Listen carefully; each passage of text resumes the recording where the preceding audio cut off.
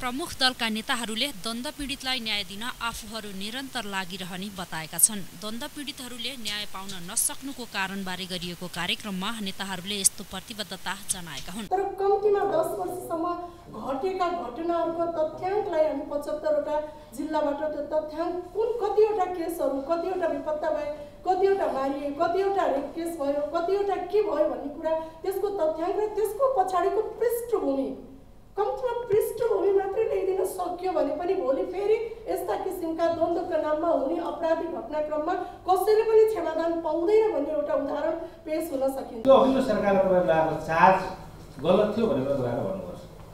हामीलाई केही छैन। हामी तपाईँहरू जो पीडित साथीहरू एक ठाउँमा हुनुहुन्छ दुवै ढङ्गले पीडित हुनुभएको साथीहरू यहाँ एक ठाउँ हुनुहुन्छ हामी तपाईँहरूको साथमा छौँ।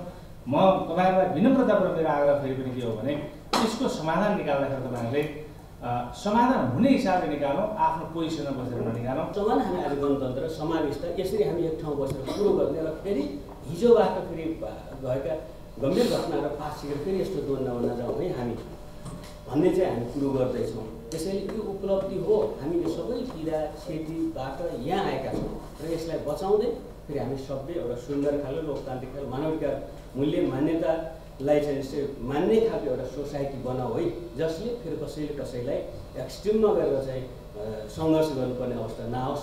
उनीहरूले अहिले सत्य निरूपण तथा मेलमिलाप आयोगले द्वन्द पीडितका नाममा प्रभावकारी काम गर्न नसकेको आरोप लगाएका छन्।